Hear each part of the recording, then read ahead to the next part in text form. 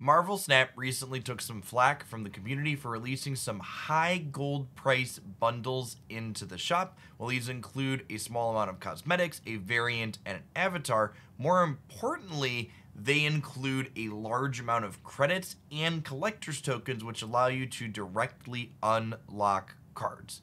Players that have only been playing since the global release of Marvel Snap have not had a chance to get anywhere near enough gold to get either of these first two bundles before they rotate out. However, it looks like moving forward, these types of bigger bundles are going to be regularly available with varying amounts of credits and tokens within them. This led me to ask myself the question is it ideal for not only spending players, but also free to play players to be conserving the gold they're going to be getting for free from reserves and their weekly missions to save up for these bigger bundles. Today, I've got all the numbers to break down to answer that question.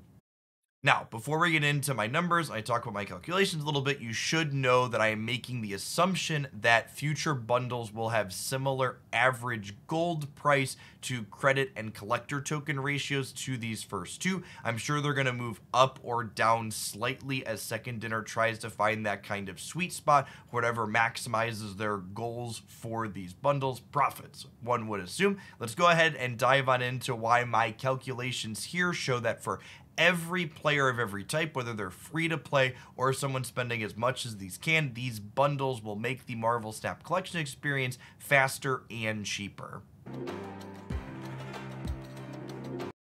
Now, while my labels here are relatively self-explanatory, I want to break down a couple of important details. The first is that these before bundles numbers, I was making the assumption that players would spend every bit of gold that they acquired for free, turning those into additional credits to progress their account faster, because that was the best thing you could do with gold for account progression previously. The after bundles numbers assume that players are saving every bit of gold they get until they have enough gold to purchase one of these larger bundles. The important metrics to note for this is that a completely free to play player acquires approximately 2,000 gold per month, and a season pass player purchasing the premium pass gets an additional 900 gold on top of that, giving them approximately 3,000 gold per month the one bundle per month spender, in addition to saving their free gold and their $10 season pass gold, needs to purchase an additional 50 USD worth of gold to get one bundle per month. The two bundle per month spender needs to spend that $60 plus an additional 100 USD to guarantee a second bundle each month. And the max spender is spending approximately 22 USD in gold per day, plus purchasing two bigger bundles, meaning they're spending about 900 USD in that first month to blow through all of those cards in the first three series. As you can see from the numbers here, saving your gold for these bundles makes your Series 3 completion rate faster whether you are free to play or spending.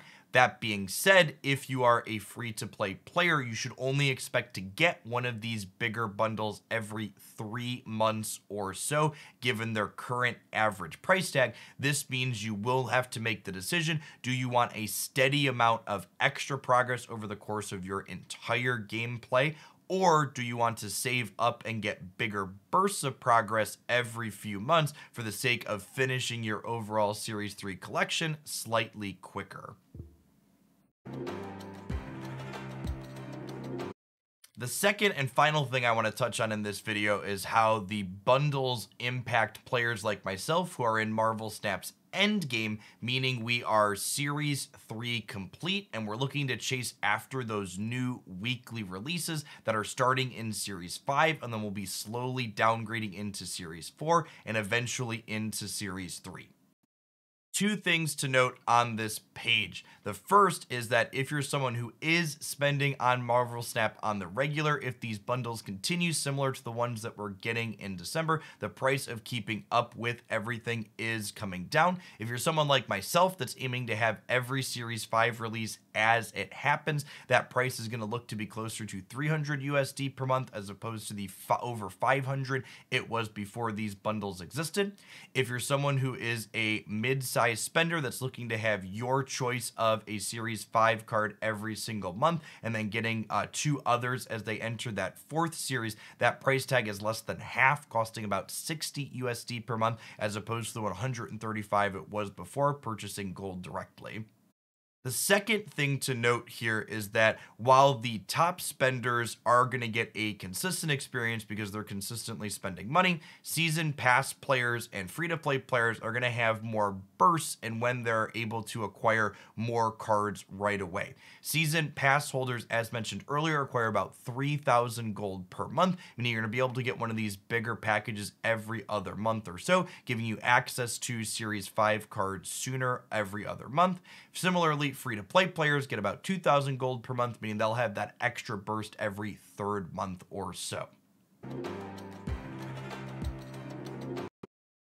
I have to say, after running all the numbers, I'm really glad they made these account progression focused bundles available for gold. It means that even free to play players can have a bigger goal to save up for to complete their collections even faster. They also mean spending players have the ability to make their dollar go even further if they're patient and wait to pick up these bundles, as opposed to buying gold to turn into credits directly.